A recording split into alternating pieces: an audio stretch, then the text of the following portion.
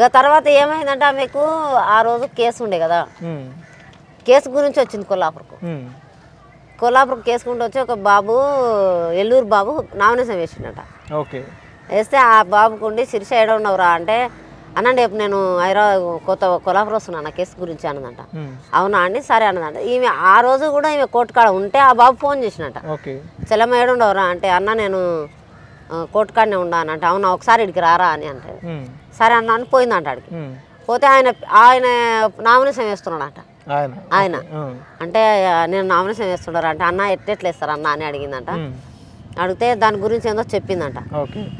నా కాగితాలు రాపించుకోవాలంటే అన్న నా దగ్గర డబ్బులు లేవన్నా అని అంటే ఆమె దాంట్లో ఏందో ఈడియోలో ఏందో చేస్తే పైసలు పైసలు వస్తాయంట. ఉంటే ఐదు వందలు పెట్టి లాయర్ దగ్గర ఈ పిల్లాడు ఐదు వందలు ఇచ్చి కాగితం రాపించినట్ట ఆమె నామినేషన్ వేయడానికి. అవి కాగితాలు అన్నీ సర్చ్ చేసుకొని పెట్టుకున్నది. పెట్టుకున్న తర్వాత ఆ రోజు ఆడ మాట్లాడుకొని ఇక్కడికి వచ్చింది. ఆ నైట్ వచ్చింది నా దగ్గర ఆ నైట్ కూడా ఏం ఆ ట్రాఫిక్ తీయలేదు నా తన. మామూలుగా ఎప్పుడున్నట్లే ఉన్నది ఇక తిన్నాం పండుకున్నాం. పొద్దుగాల లేచింది స్నానానికి నిలబెట్టు మమ్మీ అంటే సర్లేమ్మా స్నానానికి నిలబెట్టిన నేను ఊరుకోతా అయిరా పోతావా అన్న అంటే "ఆ, పోతాను అంటే ఇవాళ ఏమొద్దు రేపు బదులేమ్మా ఒక్కరోజు ఉండు అన్న అంటే సరేలే అయితే ఏమోను నేను కొలాపురం పోయేస్తాను అది. అంటే ఎందుకు అని అంటే సారు కేసు కొట్టేస్తాడట ఉమ్. మాట్లాడాలి అని. నామినేషన్ చెప్పలేదు. చెప్పలేదు. అంటే అమ్మ కేసు కొట్టేస్తాను అనగా ఫోన్లే. అమ్మ పోయి మంచిగా మాట్లాడి ఏదో సార్ సారీ సార్ ఇంకోసారి ఇట్లాంటివి ఏం చేయను. సార్ నేను ఏ గవర్నమెంట్ వ్యతిరేకించినట్లేదు కదా సార్. అని చెప్పేసి రా అమ్మ ఇంకోసారి ఇట్లాంటివి చేయకోకటే చేయని. మళ్ళీ మళ్ళీ చెయ్యను అని చెప్పింది నా దగ్గర. ఏ చెయ్యను ఇంకోసారి. అమ్మ నాకు తెలిసి వచ్చింది కానీ నేను ఎవరిని అనను నాకేం అవసరం అని చెప్పు నా బతికిందో నేనేందో అనుకుంటే ఇక చపాతి తిని వెళ్ళిపోయింది ఇంకా ఆమె. వెళ్ళిపోయినాక పోతుంటే పోతుంటే మా చిన్నోడు ముఖం కడుకుంటే చింటూ కొల్లాపురం అన్నదంట. మా చిన్నోడు పోతున్నప్పుడు మమ్మీ నాకు రెండు వందలు ఇయ్యి" అంటే ఎందుకురా? అంటే నేను కొల్లాపురం పోతున్నాను. కొల్లాపురం ఎందుకురా? అంటే అక్క రమ్మన్నదంటే. "నీ అక్క పోయింది ఎప్పుడు? నువ్వు పోయింది ఎప్పుడు? అప్పుడు అక్క పోయి చాలా చెప్పాను నువ్వు ఇప్పుడు ఎందుకు పోవాలనుకుంటున్నావు? అంటే ఎందుకు? అక్క రమ్మంటే పోదాం అనుకుంటున్నాను. సరే సరేలే అయితే పోతే నేను రెండు వందలు ఇస్తే మా వంద తోలుకొని పోయింది. వాని కూడా చెప్పలేదట. ఆడికి వెళ్ళారు ఆడికి పోయినాక మాకు బంధువులు అవుతారు వెంకటేష్ అని. వెంకటేష్ మామ ఏడ ఉండవు. అంటే ఎందుకు శిరీష్ అంటే జర రా మామ ఇడికి ఆమెకు తోడు కావాలి అని అన్నారంట. ఆ పిల్లగాడు పోయిండు. మా వదిన ఫోన్ చేసి పిలుచుకున్నదంట. అత్తమ్మ ఏడ ఉండవు. అంటే ఇంటికనే ఉండే శిరీష్ ఒకసారి రా అత్తమ్మ కొల్లాపురం అన్నదంట. ఎందుకు? అంటే ఊరికేనే రా అత్తమ్మ. అంటే ఎందుకు అని ఆయన పోయింది. అంటే ఈమె ఆ రోజు అడిగి ఈ రోజు ప్లాన్ మీద కాగితాలు తీసుకొని పోయింది కానీ కాగితాలు తీసుకుపోతున్నాను నా దగ్గర ఉమ్. అంటే అన్ని కాగితాలు నీకు యాక్సిడెంట్లో నా దగ్గర ఉంటాయి కదా. ఓకే. అట్లా తీసుకొని పోయింది. ఆమె ఇంటికి రాలేదు సెల్లులు వస్తుంది. ఆమె ఇంటికే రాలే వేసి ఓకే. అది తినడానికి వస్తారు కదా పిల్లలు నూడిల్స్ అట్లా. అంటే బర్రెలక్క నామినేషన్ వేసిందంట కదా అంటే ఎవరన్నారు నా నీతోటి అని అన్న. ఆహా మొత్తం నా సెల్లులో వస్తుందా అంటే నీకు పిచ్చారా అట్లా అంటున్నావు అంటే ఇగో ఆంటీ అని చూస్తే వాళ్ళు మైకులో చెప్తుంది నేను నామినేషన్ వేసిన అని అది చూపెడతారు. మా చిన్నోడు కూడా ఎమ్మడి వస్తున్నాడు. ఊరిని అమ్మ ఈ పిల్లలకి ఏమంటారా? ఇట్లా చేసిండ్రు. నేను వద్దని చెప్పినాక ఇట్లా ఇట్లా చేసిన అని. నాకు కోపము బాధ ఎక్కలేని ఆవేశం వస్తుంది. దగ్గర ఉంటే కొడదామని అంత బాధ వస్తుంది నాకైతే. ఎందుకో ఏమో అంటే ఒక నిలబడడానికి శక్తి సరిపోతలేదు. అంత బాధ అనిపిస్తుంది. ఇక ఆ కోపంతో ఫోన్ చేస్తే ఫోన్ ఎత్తలే. నెంబర్ చూసింది కట్ చేస్తుంది నెంబర్ చూస్తుంది కట్ చేసింది నీ ఇంటికి అయితే రా బిడ్డ నీ పని చేస్తా అనుకున్నా మనసులో. ఇంకా సప్పుడు వేయకుండా వచ్చారు ఇంకా. మా చిన్నోడు వచ్చిండు సప్పుడు వేయకుండా అక్కడ పోయిన ఈమె వచ్చి కాలు కడుకొని గమ్మున పోయి అడుగుస్తుంది లోపల. ఎడుకోయినావు అమ్మ అని అన్న. అమ్మ సార్ మాట్లాడిండు ఆ కోర్టు గురించి. అంటే మాట్లాడిండు వచ్చే నెల తీసేస్తారంటాను అవునా వచ్చే నెల తీసేస్తానడా అంటే అవునంటే "ఆ, సరే సరే కానీ మమ్మీకి నేను హైదరాబాద్ పోతున్నా అంటే ఎందుకు ఉంటా ఉంటాన్నావు కదా అంటే ఏమో ఏమో నేను హైదరాబాద్ పోతానని అంటుంది. అమ్మ నువ్వు నామినేషన్ వేసినావు అంటే ఎవరు చెప్పారు నీకు అంటుంది. అంటే పిల్లల సెల్ నువ్వు సెల్లులో చూసినావు అంటే ఆ మంది అంటున్నాడు నీకు మంది భలే చెప్తురు ఎవరు వాళ్ళు చూసింది నేను ఏనే లేదా అంటుంది ఆ. అంటే సుధా ఇగో సెల్లులో వస్తుంది అంటే నవ్వింది. నవ్వితే నీ నవ్వుడు పాడుగాను నీకేమొచ్చింది అని బాధ ఇట్టినా ఇంకా ఇక జరసేపు ఇక ఏడ్చింది కుర్చీ మీద కూర్చొని. ఇంకా ఏడ్చింది ఇంకా మమ్మీ నేను హైదరాబాద్ పోతా నేను మళ్ళీ రెండు మూడు రోజులు ఉండి వస్తాను. అప్పుడు నేనేమను ఉండు అన్న ఆమె ఏడ్చుకుంటూ పోయింది కదా మళ్ళీ తర్వాత ఏమనిపిస్తుంది ఇక్కడ ఉంటే ఏదో ఒకటి అనాలనిపిస్తుంది నాకు. ఉమ్. ఏదో రెండు రోజులు సర్దిరి చెబుదాం.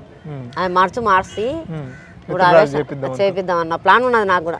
సరే సరే అమ్మ పొద్దుగాల వెళ్ళిపో చీకటి అయితే హైదరాబాద్ పోతుంటే పోయి ఇంకా ఆడుకోగా ఫోన్ చేయమ్మా అంటే సరే అన్నది పోయింది. ఇంకా నాకు అదే మైండ్లో పడింది. ఇప్పుడు ఆమె తిడితే బాధపడి ఏడ్చే. ఉన్- ముందరుంటే ఏమనిపించదు కానీ పిల్లలు తిట్టినాక కనపడకపోతే బాధ అనిపిస్తుంది అట్లానే ఆమె తిడితే ఏడ్చే. ఇంకా పోని పట్టు. ఏం టైం వస్తుంది. అప్పటి వరకు మీకు ఏదో నచ్చ చెప్తా. మా వాళ్ళ దగ్గర నచ్చ చూపిస్తా నేను నచ్చ అన్న ప్లాన్ మీదనే ఉన్నా నేను. అన్నది రాత్రి పోయింది. ఇంకా సరే మా ఫ్రెష్ పోయినా అన్న. సరే ఫ్రెష్గా ఇంటికనే ఉన్నాను మళ్ళీ పొద్దుగాలు కూడా చేసిన పదిటికి. అమ్మ పోతున్నావంట పోతున్నాను నేను. సరేలే నువ్వు అది వద్దమ్మా. నామినేషన్ వేయడం వద్దు అది కరెక్ట్ కాదు. పెద్ద పెద్ద కోటీశ్వర్లు ఉంటారు వాళ్ళకి వీళ్ళకి మనం సరిదూగలేము. మనం బాధ లేదు వాళ్ళ బాధ లేదు. ఏదో వేసినావు వేసినావు. నువ్వు రెండు రోజులు అయినాక వస్తారా వచ్చినాక అది ఇట్లా చేసుకోము. ఎవరికి తెలియకూడదు తెలియక ముందుకే మన పని మీద మనం ఉంటే అయిపోతుంది కదా. ఎందుకు ఇప్పుడే మనది బాగాలేదు అని నేను ఎన్నో సదిరి చెప్పిన. సరే సరే మమ్మీ అన్నది. సరే లేవే నువ్వు ఎందుకు టెన్షన్ పడుతున్నావు? నేను సరే సరే సరే అనుకుంటా. అప్పుడు కూడా నవ్వుకుంటేనే సరే సరే సరే అన్నది. ఇంకా సరే అంటుందిలే అని నేను ఇంట దాన్ని ఊరుకున్నా ఉమ్. పోయి వాళ్ళ సార్కి చెప్పింది. వాళ్ళ సార్కి చెప్పి బాధపడదంట. మమ్మీ తిట్టిందని. సార్ నాకు దగ్గర పోయి చెప్తే సార్ నన్న నన్నే ఇంకా చెప్తున్నాడు నువ్వు ఊకో అని. నేను అన్నా సార్ మా పరిస్థితి బాగాలేదు సార్ నువ్వు అర్థం చేసుకో. నేను ఆమెను నచ్చ చెప్పుదామని నేను అనుకుంటున్నాను మళ్ళీ ఆమెకు సపోర్ట్ ఇస్తున్నావు సార్ అన్న. సార్ ఉండేమన్నా అమ్మా నీకు ఏమన్నా పిచ్చా? ఇప్పటి నుంచి ఆమెకు ఆలోచన వచ్చింది అంటే. నువ్వు ఇంకా మెచ్చుకోవాల్సింది పోయి నువ్వు వద్దంటున్నావు అంటే సార్ మా పరిస్థితి బాగాలేదు సార్ అన్నాను ఉమ్. మేమందరం లేమా మీ పరిస్థితి బాగాలేకపోతే మేమందరం ఉన్నాం నీకు వెనకలే నువ్వు ఎందుకు బాధపడుతున్నావు అని అన్న. అని చెప్పిండు సార్ మళ్ళీ రోజే. ఇంకా నేను సరేలే ఇంకా సార్ కూడా చెప్పడం సార్ కూడా నిన్నట్టు లేడు అక్కడ ఆయన నాకు చెప్పిండు నేను చెప్పినా ఇద్దరు ఒకటే అయినా నేనేమన్నా తర్వాత ఇంటికి పోయినాక చెప్తా అనుకున్నా. అప్పటికే ఇంకా మొత్తం ఫోన్లలో వస్తుంది నా ఫోన్లో వస్తుంది అందరి ఫోన్లలో ఎక్కువైంది ఇంకా. ఎక్కువ కొద్ది ఈమెకి ఎక్కువైంది. ఇంకా మొదలింటలేదు నా మాట. నేనైతే ఈయన అంటది. నువ్వు ఆలోచన మమ్మీ నీవు ఇష్టం ఉందే నీకు నా మీద అభిమానం ఉంటే నీ ఓటేయి. లేకపోతే నా ఓటు అయితే నేను కంపల్సరీ వేసుకుంటా నన్ను నువ్వేం మాట్లాడొద్దాను అంట నువ్వు ఆలోచించుకోమ్మా పిచ్చి అంటే నా వెనక ఎంతమంది ఉండరు. నేను చేయడం తప్ప. నేను నిరుద్యోగుల గురించి చేసిన నేను ఎవరిని వ్యతిరేకంగా అనలేదు. అప్పుడు కాబట్టి ఉత్తలా కేసు వేసిండ్రు. ఇప్పుడు కూడా అట్లే అవుతుందని భయపడేమో అని ఏం కాదు నేను ఎవరిని అనలేదని ఇంకా. ఇంకా రోజు రోజుకి నాకు ఫాలోవర్స్ పెరిగిపోతున్నారు. అందరు ఫోన్ ఒక్కరేంది నాకు ఫోన్ నిలకలు లేకుండా నాకు చేస్తున్నారు ఇంకా. రెగ్యులర్గా? ఆ, చేస్తుండ్రు అట్లా ఇట్లా నాకు సంబంధిస్తున్నారు. నేను అన్నా ఏం సార్ మీరు అంతా ధైర్యంగా ఉంటే నేను ధైర్యంగా ఉంటా కానీ తర్వాత ఎందుకంటే నన్ను బాధ పెట్టొద్దు ఏమన్నా పిల్లలకి అయితే నేను తట్టుకోలేకపోతాడంటే లేమ్మా మేము అందరం ఉన్నాం అని అన్నారు. ఇప్పుడేమనిపిస్తుంది అంటే దాదాపుగా మొన్నటి నుంచి కూడా ప్రచారం స్టార్ట్ అయినప్పటి నుంచి ఒక్కొక్క రోజుగా కొంత కొంత పెరుగుతున్నారు శిరీష్ ఎంబడి. ఇప్పుడు ఎట్లా అనిపిస్తుంది? అప్పటి నుంచి నేనేమనుకున్నా అంటే ఎవరు లేరు కదా నాకు నలుగురమే మే నలుగురమే ఉండము అనుకున్నా కానీ నాకు ఇంత కుటుంబం ఉంది ఇంత పెద్దగా పెరుగుతారు ఇది ఇప్పుడు ఇప్పుడు మాకు వస్తున్నారు నాకు సపోర్ట్ చేస్తున్నారు అంటే ఇది నా ఫ్యామిలీ కదా దేశం దేశం నుంచి ఎక్కడి నుంచి వస్తున్నారంటే. ఇప్పుడు మా ఫ్యామిలీ అయినందుకే నాకు ఆడ వస్తున్నారు మమ్మల్ని ఓ- ఓదారుస్తున్నారు అంటే ఉమ్. నాకు చాలా సంతోషం అనిపిస్తుంది. ఒక్కరే అనుకున్నా కానీ ఇంత ఉంది నా కుటుంబం అని నాకు ఇప్పుడు అనిపిస్తుంది. మొదట భయపడ్డావు ఏం జరుగుతుందో ఇప్పుడు వీళ్ళందరూ చూస్తే కొంత ధైర్యంగా అనిపిస్తుందా? ఆమె నామినేషన్ వేసినాక రెండు రోజులు అన్నం తినాలనిపించలే నాకు. అంత భయం తీసుకున్నది. గట్టిగా చెప్తే ఆమె ఎక్కడ బాధపడుతుందా. చెప్పపోతే పిల్లలు ఎక్కడ చేస్తారా అని ఒక బాధ నాకు. ఓ భయం బాధ. ఎందుకంటే వెనక ఆయనకు అన్నోళ్ళు లేరు ఆమెనే పెద్దది. ఇద్దరు తమ్ముళ్ళే. మా చిన్నోడు అన్న కొంచెం వింటాడు కానీ మా పెద్దోడు ఇట్లాంటి దాంట్లోకి రాడు ఎక్కువ మాట్లాడాడు. ఉమ్. ఆయనకి ఇవి నచ్చవు. ఆడు కూడా మా చిన్నోడు కూడా నాకు ఆ, ఉండని అనుకో. ఏ బాగేసిందిలే. చింటూ మమ్మీకి చెప్పురా అది అంటే బాగేసింది అనుకో. వేస్తే ఏమైంది? అన్నాడు. మా పెద్దోడు ఉండి ఎందుకే ఎవరితాను ఎందుకు ఎవరి దృష్టిలో మనం ఎందుకు మమ్మీ. అక్కకు సంబంధించు అక్కకు అని మా పెద్దోడు చెప్తున్నాడు. చెప్పినంట కూడా. దాంట్లో చూసినంట మా పెద్ద మా పెద్ద అబ్బాయి. దాంట్లో వస్తుంది కదా సెల్లులలో వస్తే ఆయన చూసినంట. మమ్మీ అక్క నామినేషన్ వేసినంట ఎవరంటే. అవునరా అక్క వద్దంటే ఇట్లా బాధపడుతున్నా అంటే నువ్వు ఆయన నువ్వు తిట్టినట్టుగా చెప్పుకోకు కూర్చోబెట్టుకొని నిదానంగా సంధానించేటట్టు చూడు అవి మారుతుంది. అని అన్నాడు. సరే అని కూడా అన్నా. ఆడికి కూడా వాళ్ళ అక్కకు కూడా ఫోన్ చేసి ఇంకా అక్క అని అన్నారు సిరి అంటారు అందరు. ఇక సిరి నువ్వు ఆలోచన చేసుకో మమ్మీ మనం ఎందుకంటే మన రోడ్డు మీద బతుకులు. ఒక్కతి ఉంటుంది మనం ఏడుంటామో ఏడ ఉండమో తెలియదు అందరి దృష్టిలో మనం కనిపిస్తాం. అందరి దృష్టిలో కనిపిస్తాం మనకు ఎవరు లేరు వెనకిలా. మనం పరిస్థితి బాగాలేదు నువ్వు అర్థం చేసుకొని నువ్వు నీకు చేయాలని ఉంది నీ ఉద్దేశంలో. ఇప్పుడు చేయ తర్వాత చేయి. మనం ఒక పొజిషన్కి వచ్చినాక మనం ఒక లెవెల్కి వచ్చినాక చెయ్యి కానీ. ఇవి అంటే లేదురా అంటే నేను ఇవన్నీ అవన్నీ అడగాలి ఇప్పుడు అడిగేటోళ్ళు మస్తు ఉండు సరే అట్లే నడుస్తుంది అడిగేటోళ్ళని మనం ముందుకు అది కానియరు. నువ్వు తర్వాత అడుగుదు నీ ఉద్దేశంలో ఉంది ఇప్పుడు ఎందుకు అడగాలి. తర్వాత అడుగుదు కొసే ఉండు నువ్వేదో ఫస్ట్ జాబ్ కొట్టుకోనని. అని చెప్పినట. ఇంకా సరే సరే చంటి నేను తర్వాత చెప్తాలే అని కట్ చేసింది ఆయన కూడా. ఇప్పుడు అతను కూడా వచ్చిండా? మీ పెద్ద అబ్బాయి కూడా వచ్చి ప్రచారంలో తిరుగుతుండా? వచ్చిండు తిరుగుతున్నాడు. అప్పుడు వద్దన్నాడు కానీ ఇప్పుడు ప్రచారం చేస్తుండు.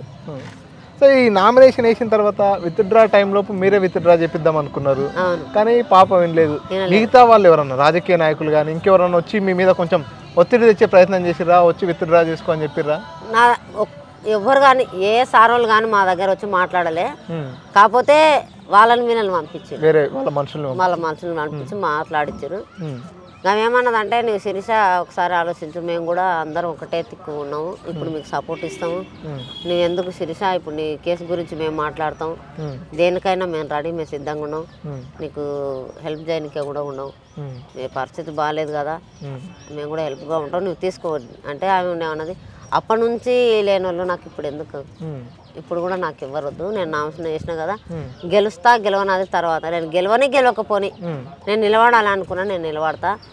అంతగా నన్ను ఎక్కువ ఒత్తిడి చేయొద్దు ప్లీజ్ నా దయచేసి నన్ను ఆ విషయంలో అడగొద్దు నన్ను బాధ పెట్టొద్దు అని ఉమ్. అంటే సరేలే నీకు కావాలంటే ఏమైనా ఆర్థిక సాయం అందిస్తాం. డబ్బులు కూడా ఆఫర్ చేసింది. అదే ఇంత అంత అని వాళ్ళు ఎవరు మాట్లాడలేదు ఆర్థిక సహాయం చేస్తా ఆర్థిక సహాయం చేస్తా అని అన్న ఈమె ఒక్కటే మాట అన్న మాకు ఇన్ని రోజుల నుంచి ఆర్థిక సాయం చేస్తే మేము తీసుకోలేదు బతకలేదు ఇప్పుడు మా కష్టం మీదనే బతికినాం అప్పుడు కూడా మా కష్టం మీదనే బతికినాం. ఆర్థిక సహాయం నాకు ఒక్కదాని కాదు నేను నిరుద్యోగులకు గెలిచి నిలబడిన కాబట్టి. నేను కూడా ఇప్పుడు ఎట్లా చెప్పిన సోషల్ మీడియా అందరు కూడా నేను అట్లనే చెప్తా. నా కొల్లాపురం నియోజకవర్గంలో ఎంత నిరుద్యోగులు ఉన్నారో లేనోళ్ళు ఉన్నారో. ఆ నిరుద్యోగులను అందరూ పిలిచి ఒకరోజు మాట్లాడుకొని. మేము అనుకున్న అన్ని ఓకే చేస్తా అంటే నేను తీసేసుకుంటా కానీ నా వెనుక నిరుద్యోగులు మాత్రం ఉన్నారు కాబట్టి నేను చెయ్యను వాళ్ళ గురించి చేసిన కాబట్టి నేను బ్లేమ్ అవుతా. నాకు నిలబడాలని ఉంది నాకు సపోర్ట్ ఉంది కాబట్టి నేను చెయ్యను. నేను ఓడినా సరే కానీ చెయ్యను. అని చెప్పింది.